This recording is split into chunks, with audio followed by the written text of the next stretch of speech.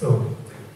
Hallo, ich bin Alex, ich bin ähm, der zweite von dem Autorenkollektiv Freigeist aus Ludwigsburg. Äh, an der Stelle auch nochmal von mir ein herzliches Dankeschön, dass wir heute hier mit dabei sein dürfen. Und ähm, ich möchte eine kleine, eine kleine Kurzgeschichte vorlesen aus einem Sammelbändchen, das ich mit einem anderen Autorenkreis, dem Autorenkreis Kornblume aus Senftenberg, äh, zusammengestellt habe, zu den Jahreszeiten. Ähm, der Text passt jetzt vielleicht nicht so sehr zur jetzigen Jahreszeit, aber zum Wetter eigentlich durchaus. Im Herbst. Im Herbst färbt Grün sich. In bunter Pracht stirbt Geduld. Fault zu Schlamm und Furcht. Im Hörsaal sitzen schon die ersten Gruppen von Studenten, die auf den Beginn der Vorlesung warten. Er sucht sich wie üblich einen Platz in der hintersten Reihe, ignoriert das Mädchen, das mit herabhängendem Kopf auf dem letzten Platz direkt an der Wand sitzt und zieht seine Jacke aus. Achtlos stopft er sie auf dem Sitz neben sich zu einem Knäuel zusammen und reibt die Hände aneinander, bis sie heiß werden. Fingerspitzen und Handflächen sind von einem Netz mikroskopisch kleiner roter Pünktchen übersät. Er hasst den Herbst.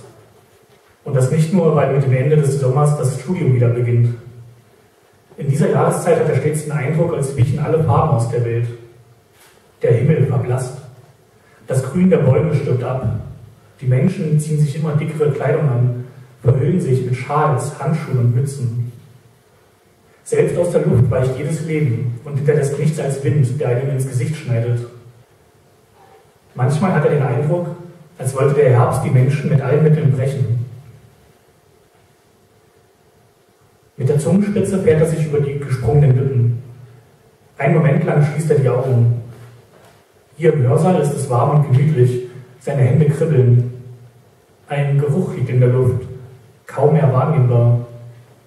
Ein Geruch, der ihm fast bekannt vorkommt. Jemand schluchzt. Er wendet den Kopf und betrachtet das Mädchen, das nur zwei Plätze von ihm entfernt sitzt und den Kopf leicht gegen die Wand lehnt. Sie sieht immer noch zu Boden, doch ihr Gesicht ist verzerrt und in dem Moment, in dem er hinschaut, rinnt eine Träne über ihre Wimpern. Er kann das Geräusch hören, mit dem sie zwischen ihren Füßen aufplatzt. Ein Geräusch wie der Geruch. Eine Winzigkeit zu laut, zu deutlich. Hey, was ist denn? fragt er, während sein Blick automatisch zu Boden gleitet. Dann verstummt er. Zwischen ihren Füßen schwimmt der Boden, wie es scheint, aber nicht in Tränen. Sein Herz setzt einen Schlag lang aus. Sein Blick wandert weiter nach oben, sucht nach ihren Armen. Und tatsächlich, der linke Ärmel ihres dünnen Pullovers ist vom Blut durchtränkt. Mit der rechten Hand umklammert sie ihr Handgelenk. Und sie stürzt. Leise und gepresst, als wolle sie unter keinen Umständen auffallen. Er sieht sich um. Auf dem Hörsaal verteilt sitzen einzelne Gruppen von Studenten, die sich unterhalten, miteinander lachen oder still in Bücher und Zeitschriften versunken sind. Dieser Platz hier oben liegt in der hintersten Ecke des Saals. Niemand kann sie sehen, wenn er sich nicht extra nach ihnen umdreht. Wieder leckt er sich über die Lippen. Dann wendet er sich ein zweites Mal an das Mädchen. Hey du, was machst du denn da? Sie antwortet nicht. Was ist? Brauchst du Hilfe? Sie schluchzt und schüttelt den Kopf. Weitere Tränen fallen zu Boden. Nein, nein. Aber du, du blutest. Was ist denn passiert? Sie lässt ihr linkes Handgelenk los und greift nach einem Gegenstand, der auf der Ablage vor ihr liegt. Dann streckt sie ihm die Hand entgegen. Sie hält ein kleines Messer, nicht größer als ein Schälmesser darin. An der Klinge glänzen dunkelrote Fäden. Er reißt die Augen auf. Ugh. Daraufhin schluckt sie erneut, lauter als zuvor, und er wirft einen schnellen Blick durch den Saal. Niemand zieht sich nach ihnen um. Sie weint weiter und ein dünner Speichelfaden zieht sich von ihren Lippen in Richtung Boden. Die Blutlache um ihre Füße breitet sich träge aus. Boah, eklig, murmelt er und denkt an die Haufen toten Laubs, die zurzeit an jeder Straßenecke liegen.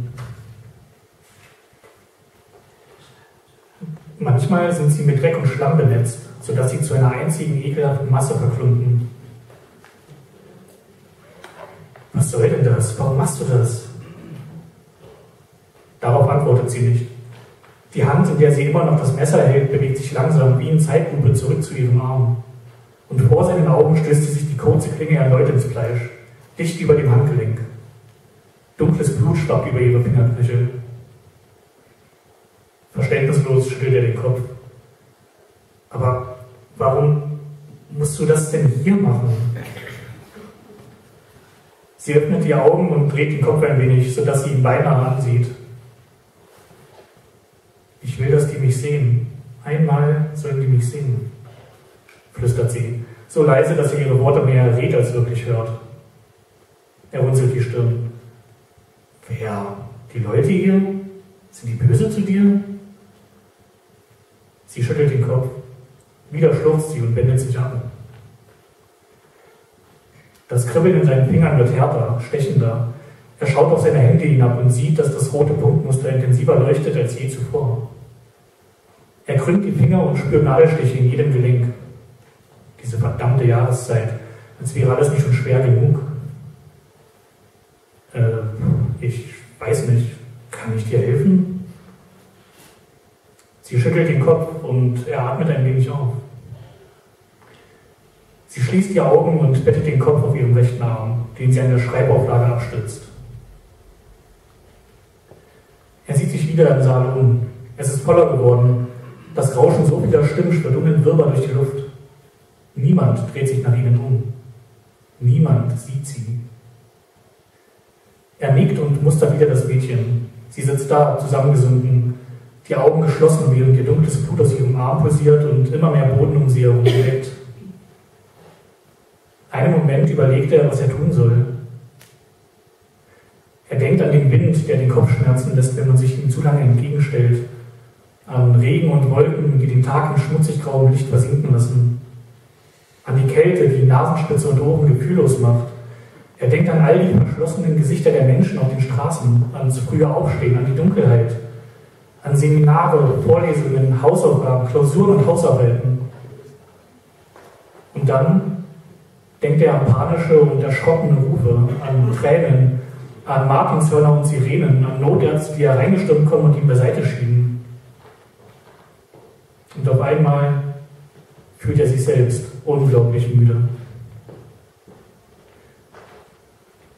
Er greift seine Jacke, steht auf und setzt sich drei Plätze weiter wieder hin.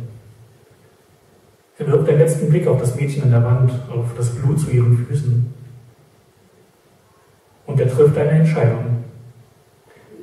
Sollte ihn das Blut hier erreichen, wird er Alarm schlagen. Danke.